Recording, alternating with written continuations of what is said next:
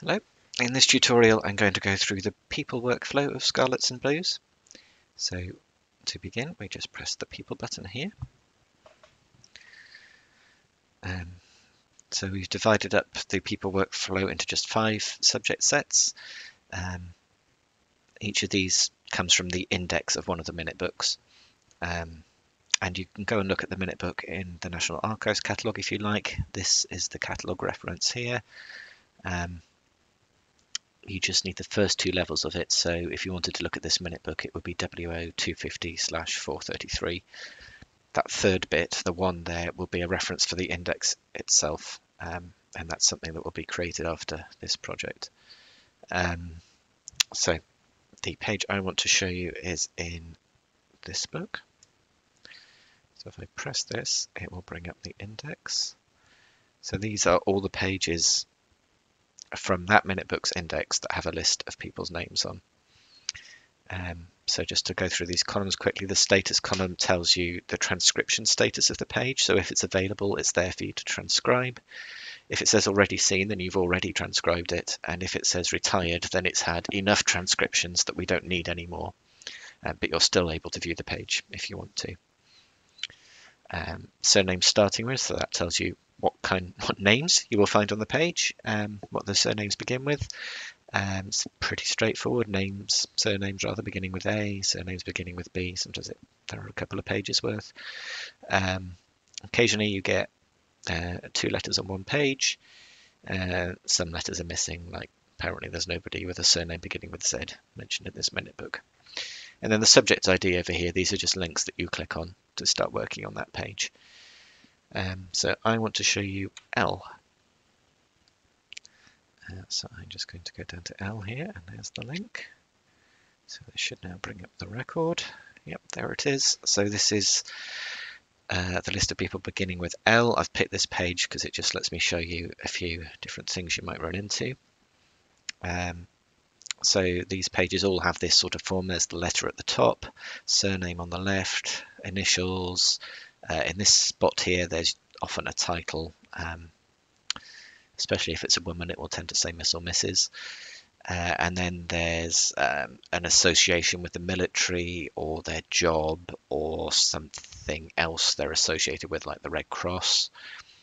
Uh, then in the middle, there's the reason they're mentioned in the minute book, and then the page that they're mentioned on, or sometimes pages. Um, so we just transcribe this top to bottom uh, it's important to transcribe the whole page because otherwise we'll end up with gaps in our records. Um, I'm just going to do the first few records for this example, um, just because otherwise you'll have to watch me do the whole page and that won't be super exciting. Um, so I've done the surname, which is low, forename, which is H. There's no title here, so I'll leave that blank. Position is field RT. We want to catch capture exactly what it says. So although I think that means artillery, I'm not going to expand it out. I'm just going to write RT. The subject is reverts to OP, so that's outpatient, but again, I'm not going to expand it. Uh, Chelsea insane case. And page 51. So that's quite straightforward. That's our first row. Is there another person to record? Yes. And then we do the next row. So Lush. Uh, excuse my typing, it's not the best. Lush.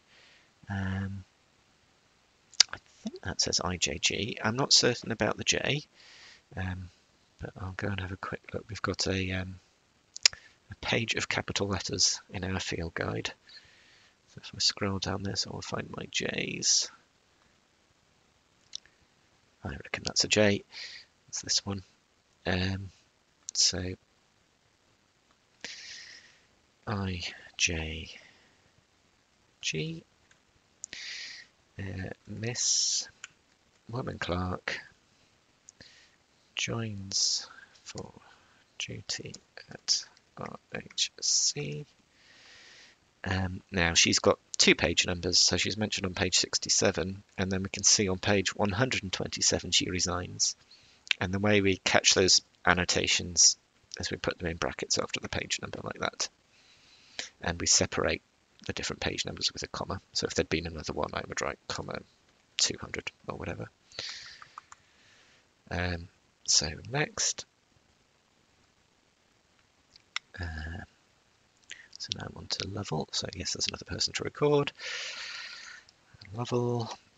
L. Now I really don't know what that middle letter is. So what I can do there is this. This this means I'm uncertain. Um,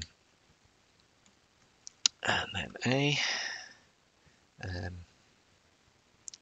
I should also say, actually, if, if I had an idea what that letter was, um, I could put that in. So if I reckoned it was, say, a T, which I think it clearly isn't, um, I could put that in there and say, I think it's a T, I'm not sure. That's why I've put it in the brackets. Um, but here I'm really not sure, so that will do. Um, and again, the um, title's a bit tricky here as well. Um, so I can see this all seems to be the same hand and miss looks quite clear. So these other ones are probably misses. I think that's a misses, but it looks less clear to me than some of these others. So I might be being too conservative here, but I am going to put my uncertainty brackets around that as well. Um, then her position is okay so this thing here means a ditto mark. So we write a modern ditto mark for that. And then we've got it again for the subject. So we put it in again. And she's on page 126 and the next record is going to be quite similar.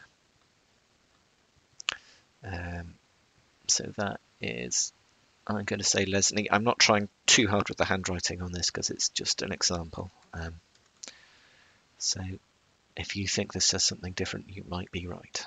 Uh, I think she's a misses, uh, and then we've got the ditto marks again, and actually it's page 126 again.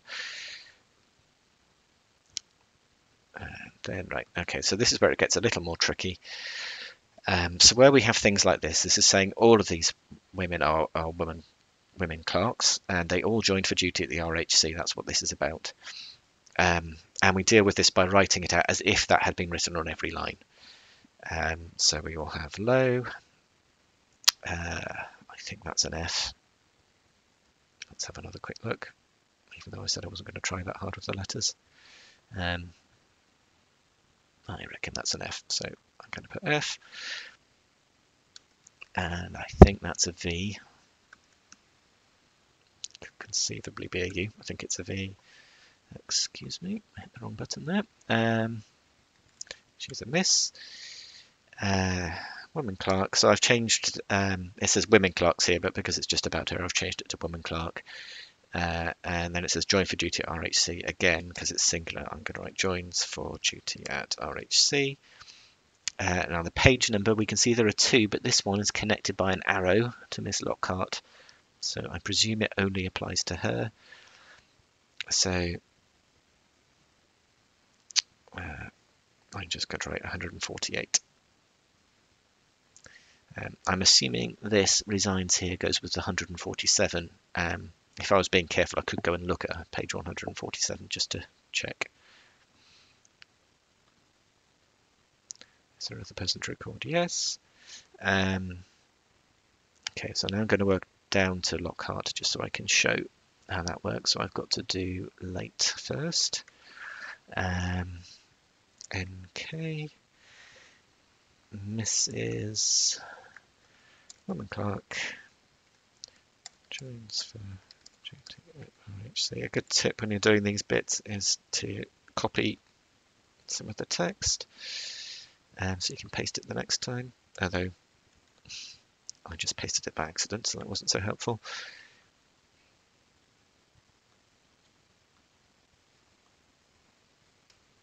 Okay, so now I'm on Lockhart. So surname Lockhart, uh, full name M.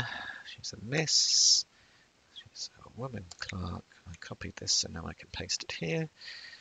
Uh, and then you don't have to, but I'm going to put these page numbers in numerical order. So they've got this arrow pointing to us. So I put 147 resigns and then comma for the other page 148. Okay, and then yes, there is another person to record, and if I was doing this properly, I would have to complete the page. Um, but for the sake of this demo, I'm going to stop here. So I'll hit no. And then these buttons light up. If I'm happy with what I've done and there's nothing more to say about it, I can just hit done. If I've got questions about this page or I want to comment on anything about it, discuss anything about it, uh, put a hashtag on it. Uh, I can hit done and talk. That'll take me to a talk page where I can do all of those things. Um, and that's basically it. There are just a couple of slightly unusual cases I want to show you as well. So this is the first one. Uh, you might sometimes see pages like this where there's a name list mixed up with the index. Um, so these are normal index entries. We don't care about these. You can ignore them. What we care about is the names, and you can see here they are. There's a big S uh, and the same sort of format, surname and um, forename, space there where the title could go, uh, regiments, uh, why they're there, why, why they were talked about, and what page they were talked about on. So that's the information we would want from these this page, just these two lines. And then this is the other thing I wanted to show you. Um, you wouldn't actually see a page like this because we haven't included any pages that don't have a name list on.